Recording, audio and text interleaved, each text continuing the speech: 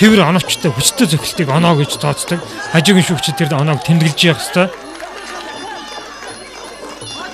За мигмар сүргийн дурсахтай учраас хөнхөн гаргаж зайлаад хий одоо өшөглөөд зөвхүүлээд тэгээд өөрөө зүрэж оноо аваад байна л да. Энэ хий давтлах нь одоо хий цохилт хийх нь одоо өрсөлдөгчд их хэцүү маш ядардаг л да.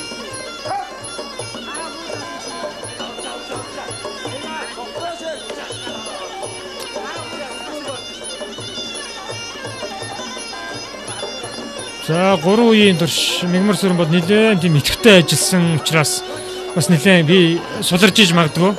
Тийм учраас ингээд дөрөвдүгээр үеийнхэнд бас нэг тийм э,